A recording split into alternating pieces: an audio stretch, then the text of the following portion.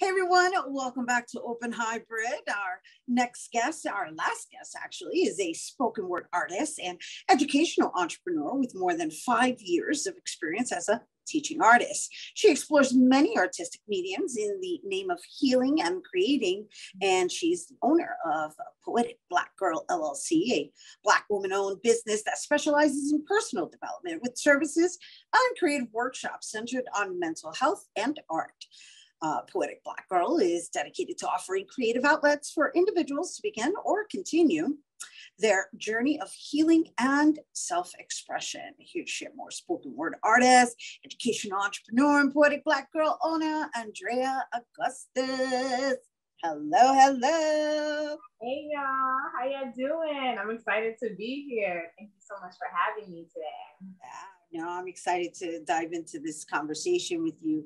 Uh, just even in your introduction, it says a lot, right? Because um, you already know uh, purpose. You're operating from a purposeful foundation of like, you know what? Um, I'm driven by um, raising up the Black voice. I'm driven by bringing mental health awareness into the forefront. I'm raised up by um, you're fired up, I should say, by making sure that art is the, um, I guess, the medium in which it's being uh, brought into this light. And so, um, how how did you get there?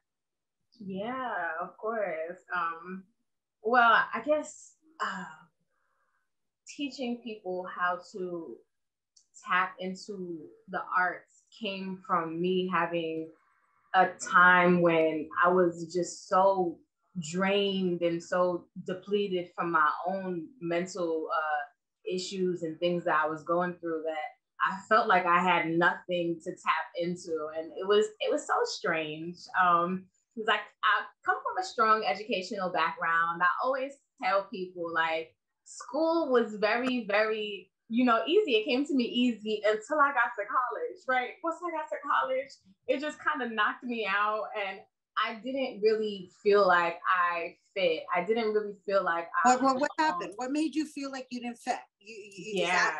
your state of mind, or is that the circumstance in which the environment loaned itself to? Right. I would say a little bit of both. So individually, I was going through um, some depression and anxiety from being away from home for the first time.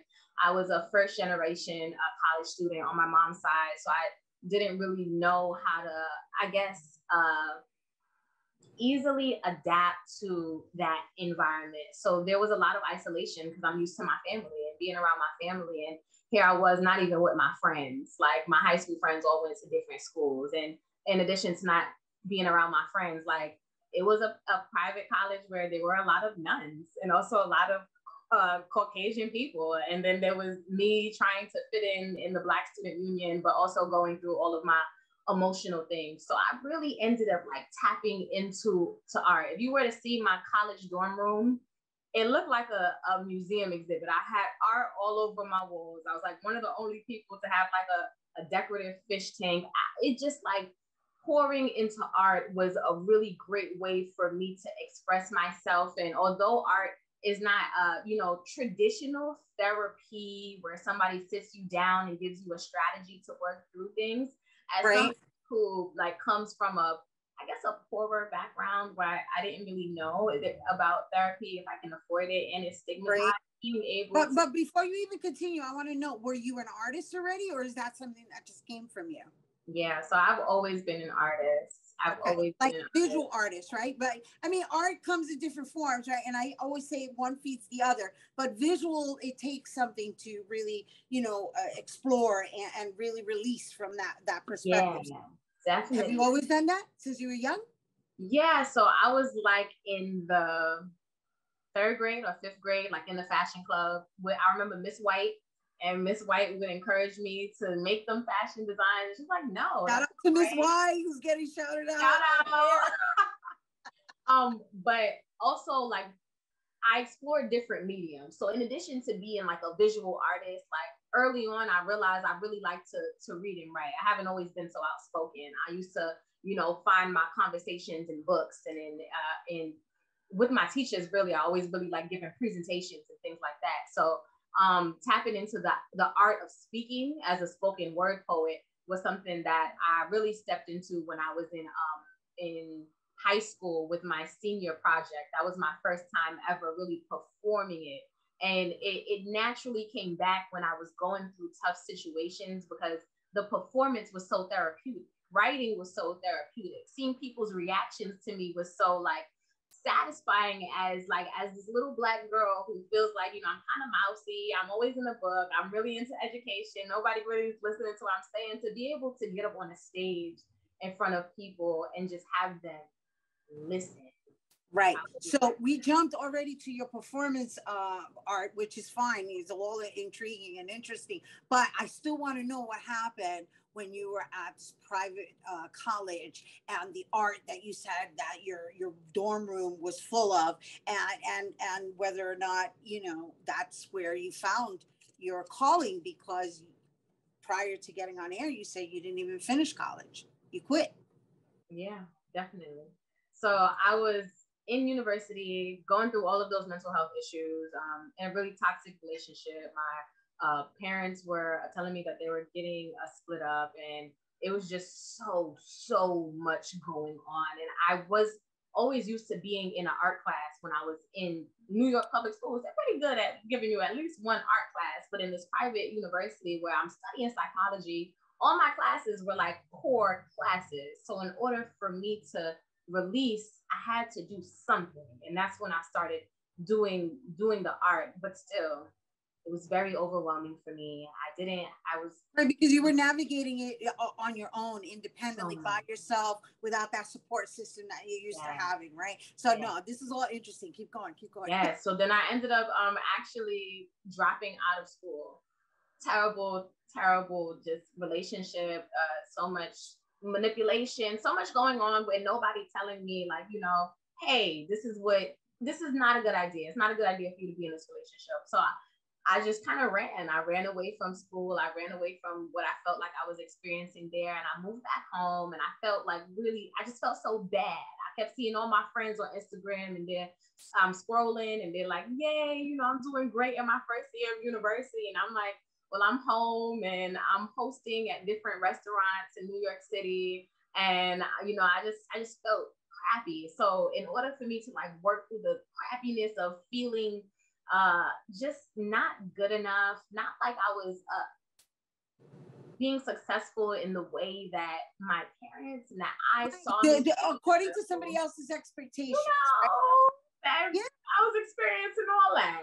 Yeah, so I'm like, what can I do? What can I do? And it always comes back to art and poetry for me. So I, I started writing really uh, impactful pieces about how I was feeling. I started spilling all the tea on my relationship. I started spilling all the tea on how I felt suicidal. I started spilling all the tea on how anxious I was feeling. And then I sat down and, and really tapped back into that art of performance. So then it went from writing it to, all right, I'm going to memorize this and I'm going to share this and see who who can relate. I'm going to find my people because my people they were in that university with me too much. And my right, people, right, right. you were like, yeah, yeah, like that. Yeah. It wasn't what, there with the nuns. Yeah.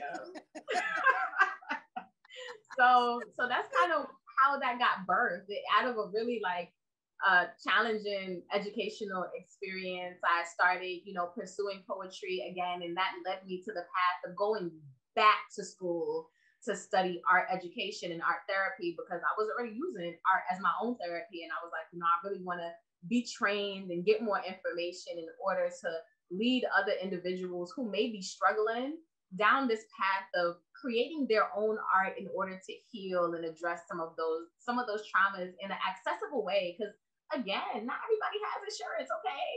And right.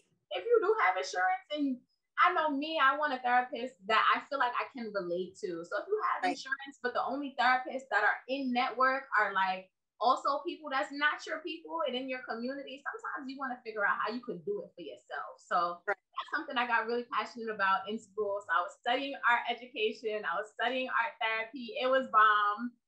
And then my school went bankrupt and shut down. Oh my gosh. and I was like, universe, what are you trying to do? so at that point, I um you know, I was already pursuing the art thing. I was right. already pursuing the art therapy thing. So I had this level of resilience where I knew that when things started to get tough for me, the the best way for me to cope was to lean into my community of people and go ahead and perform poetry, really be vulnerable and tell people what I was going through and then just move through it, like grow through it, like push right. through it in order to get where I want to go. So I went back to school, to Lehman College to study art education. Uh, we love a CUNY. I'm not gonna lie, it's affordable. They give you what you need, and it was it was really great. And then the pandemic happened. Oh my goodness, this and is like a story like, that just never ends. And you uh, know we're gonna know. be running. No, but but but but I do I do want to say because we're running out of time and we have to get to Poetic Black Gurl, right? So we can talk about the pandemic happening and then you what doing classes virtually? Uh, I hope. you know, I try to do the whole virtual class thing, right? I try to do the virtual class, but I'm really an in person. Let me feel your spirit type. So I then was like, I'm going to be an educator in the way that makes sense for me. And the way that made sense was for me to organize my independent LLC and to create uh, art and therapeutic programs, uh, specifically the Healing with Arts programs, which I offer to nonprofits and schools to help students work through their emotional challenges using art. But I was like, I am going to, I'm going to do it. I don't need permission. I already know enough. I've already been through enough. I know I can help people. When I get on stage, people dig it. They like it. They ask me how to do it. I'm just gonna do it. So I just did it. I just did it. And and I've just been doing it since. And I really have been enjoying the process of working with students independently and you know uh, just honing my craft as a spoken word artist hearing the the stories that students make and hearing their uh, them be vulnerable as they talk about their fears and and in high school and as they're going to college and just being able to be still in their age range, right? And saying, right. girl, I know, but I promise you it gets better. And I could I could help you express yourself if that's something that you feel you need right now. So it's been pretty rewarding. Oh my gosh. Well, you, you you bring a really big smile to my face, Thank just you. so you know. Thank no, you. Journey we just took and and the conclusion of like you know what? I i just gave myself permission to do it because at the end of the day um, you come with your own life experience. And not only that and i'm going to leave it on this note because we got to throw to your performance which you're going to give us a taste of what we're talking about which is kind of like a, a blend of like spoken word with motivational speaking. But at the end of the day and this is my favorite phrase to use is you're operating with the intention of leaving things better than you found them.